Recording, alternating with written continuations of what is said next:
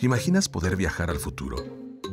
Esto es lo que nos dijeron que harían personas jóvenes privadas de la libertad. Si yo pudiera ir al futuro, iría a la graduación de mi hija. Yo tendría un negocio propio.